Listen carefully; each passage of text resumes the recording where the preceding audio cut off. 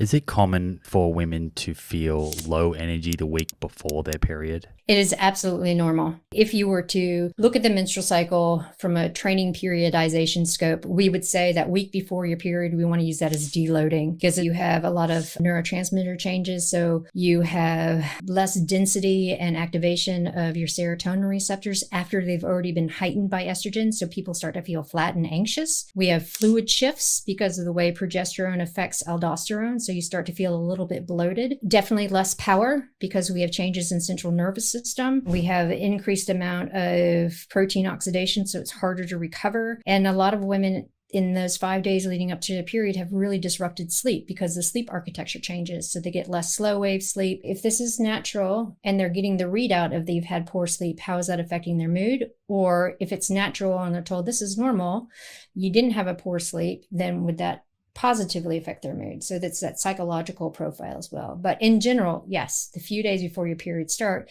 a lot of women do have low energy.